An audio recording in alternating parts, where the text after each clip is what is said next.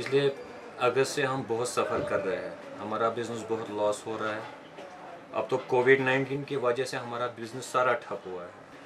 इससे पहले मैंने इक्विपमेंट्स भी सारे लाए थे, नए इक्विपमेंट्स लाए थे लेटेस्ट इक्विपमेंट्स लाए थे। वो भी हमने अभी इंस्टॉल नहीं कर पाए, क्योंकि हमारे जो मैकेनिक है वो बाहर से आ रहे थे। वो कैसे आएँगे? अब तो हम बहुत सफ़र कर रहे हैं। इससे पहले हमारे दो तीन सौ लड़के थे जिम में जो एक्सरसाइज करते थे। कोविड की कोविड नाइन्टीन की वजह से वो भी नहीं आते हैं यहाँ पे हमारा, क्योंकि हमारा सारा सेटअप बंद है। मेरे जिम में दो ट्रेनर भी हैं, उनका खर्चा भी हम जेब से अभी दे रहे हैं, क्योंकि कोविड नाइन्टीन की वजह से हम बहुत सफ़र कर रहे हैं। वैसे भी तो नहीं लग रहा कि गवर्नमेंट हमें कुछ देगा, क्योंकि हालात बहुत ख़राब है कश्मीर में। कश्मीर में अभी कभी हालात ठीक होते कभी ख़राब होते हैं।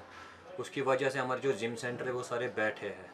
आधु ने बेचारे ने लोन लिया है। आधे आधु ने कुछ गोल्ड भेजा है तो जिम इन्वेस्ट में कर रहे हैं। बेचारे सारे बैठे हैं। अब मैं गवर्नमेंट से यही गुजारिश कर रहा हूँ कि हम सबकी मदद करें। बड़ी ही मुश्किल से जो एक प्रोफेशनल ट्रेनर होता है, जब वो सोचता है कि वो अपना जिम बनाए तो बहुत सारी दिक्कतों का सामना करना पड़ता है और उसके बाद सबसे पहली दिक्कत जो होती है फाइनेंशियल प्रॉब्लम होती है। तो जैसे तैसे हमने जो है फाइनेंशियल प्रॉब्लम जो है अपनी क्लियर करी और हमने जो है पैसे का जुगाड़ कर दिया और उसके बाद अपना जिम खोला तो लास्ट अगस्त से अगर आप बात करें और अभी तक एक अगस्त जो है पूरा एक साल हो गया तो अगर इसकी बात करें तो इसमें जो है काम बिल्कुल फिटनेस का जो है फ्लॉप हो गया ड्यू टू लॉकडाउन जो है टोटली लोग अपने घरों से नहीं निकल रहे हैं और उसके बावजूद जो है एक्सपेंसेस जो है वो बिल्कुल वैसे ही होते हैं जैसे आपने देखा होगा आप इस जिम में आए तो मैं खुद अपने जिम की सफ़ाई कर रहा था and all that it's not because कि मैं कर नहीं सकता इट्स बिकॉज़ कि जो है बहुत ज़्यादा एक्सपेंसेस होते हैं जिम में। इनफैक्ट जो रेंट्स होती है इलेक्ट्रिसिटी की बिल्स होती है, या जो आप अपने जिम में ट्रेनर्स रखते हैं, उनका भी जो है घर चलाना पड़ता है, उनकी भी सैलरीज होती है।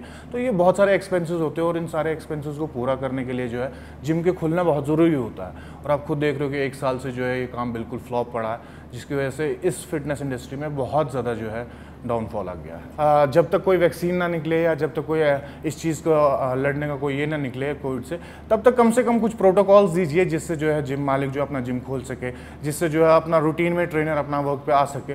बल्कि ह्यूज इस पर गैदरिंग ना हो जाए, लेकिन उसके मामले में हमने सोचा कि अगर हम शुरू करेंगे तो हम पर स्लॉट्स के हिसाब से करेंगे, एक स्लॉट में चार से पाँच बंदों को ट्रेन करेंगे, ताकि जो है डिस्टेंस मेंटेन रहे। तो ये सारी चीज़ें और प्रॉपर सैनिटाइजेशन रहे।